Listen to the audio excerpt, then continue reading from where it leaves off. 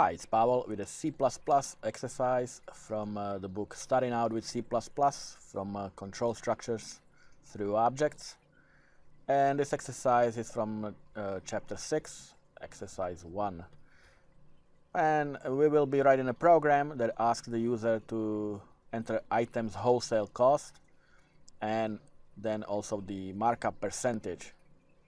It should then display the item's retail price.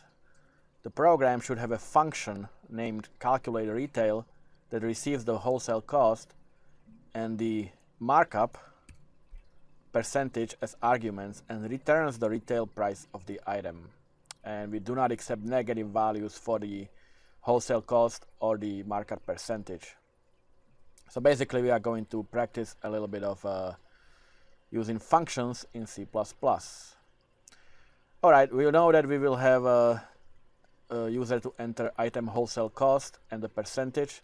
So we can uh, start with those and it's going to be double uh, wholesale cost. I'll initi initialize it to zero and double percentage and I will initialize it to zero as well. Now we are not to accept negative values so we have to check for that uh, while being entered.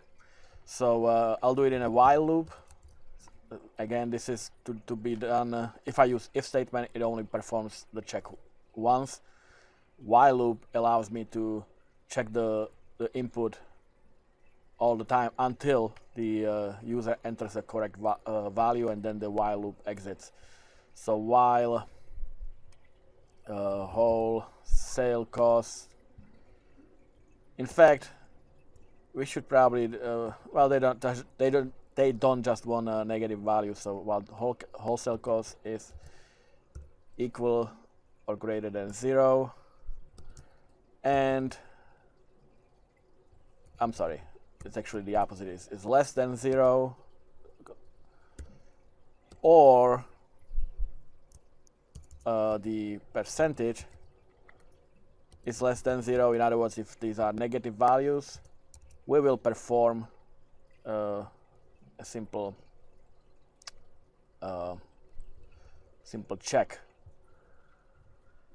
So uh, console dot I'm I'm doing a, a C sharp again. I'm a little confused now.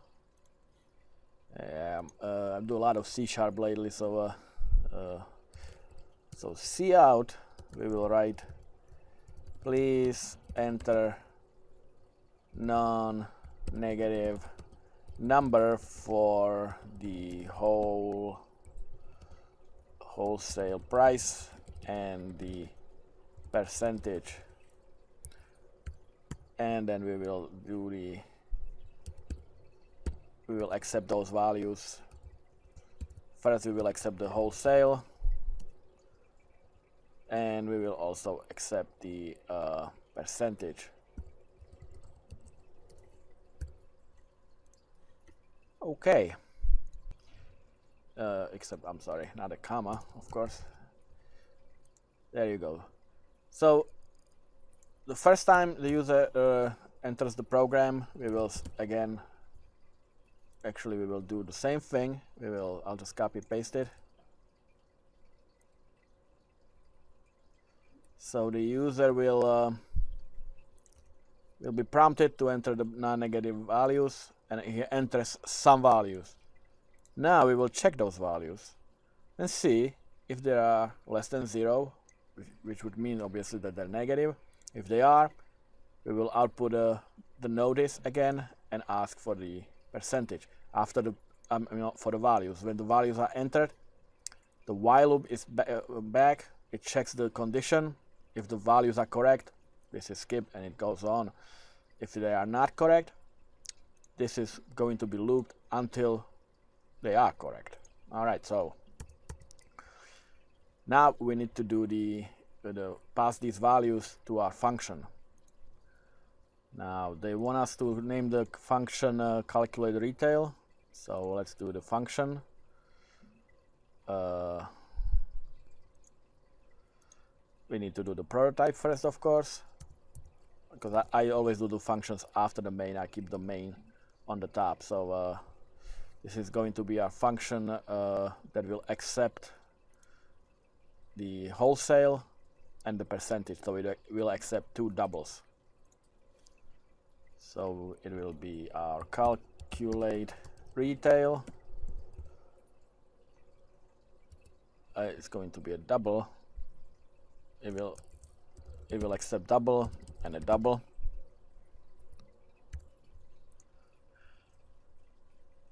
So now we can actually do the function. I'm sorry actually over here it's a double it returns double as well. Okay so after the main we will do our double calculate retail. And it will accept two doubles. It will accept double uh, as I'll just call it cost and double percent. And now uh, we need to calculate the, the overall cost. Now uh, so it's going to be a double total cost. It's gonna be my variable that will hold the result of the calculation. I'll initialize it to zero. And the total cost will equal first we need to calculate what is the 1% of the cost. So that's going to be our uh, total cost divided by 100 it will give us 1% now we will multiply that with the total percentages that the user of the markup. So this this portion is going to return the total markup. And we'll just add it to the total price. So that's the wholesale the the cost and we will return total cost so now when we return the total cost, we go back to our main. After we check the input, uh, we will write, uh, we need to call the function. So uh, I will also over here, I will declare a double uh, total price, initialize it to zero. And our total price will equal to the result of the calculate retail. And we, we will pass the wholesale cost and we will pass the percentage. And finally we can uh, output the, the result. Uh, so we will output the total cost is and we can do a little, little bit of formatting like that. And uh, it's going to be the total price Okay, so let's test it. So I'll enter a non-negative value, let's say 100 for the cost and 10 for the percentages. And the total cost is 110, which is correct. 10% out of 100 is obviously 10. Add it to 100, it's 110. If I run it again with some different values, let's say uh, I'll do 100 dollars and fifty cents and I will enter 11.5 percent markup we get the 112 dollars and uh, 0.58 uh, I can quickly check that to make sure.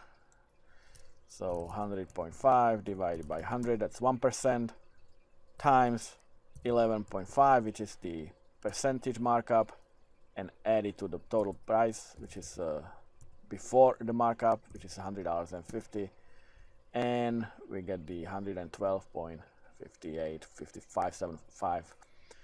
Okay, so it's working. Again, we ask for the input. We'll validate the input until it's correct in the while loop. As long as any of the numbers is negative, the while loop will be performed. The body of the while loop will be uh, looped and uh, you know we got the message and ask for the input again. Then uh, we will assign the total price of our that which is our double variable the result of the function calculate retail.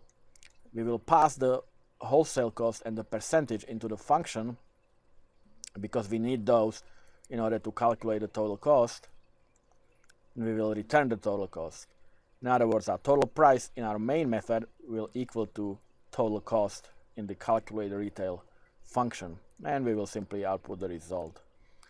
Okay, so fairly straightforward. Of course, don't forget to do the prototype uh, function. Uh, if you if you use uh, the functions after the main, you need a prototype. Uh, if you use them before the main, you don't need it, but uh, it's I believe a better practice to have the main on the top. Okay, so I hope it helps you, and I will see you next time. Take care.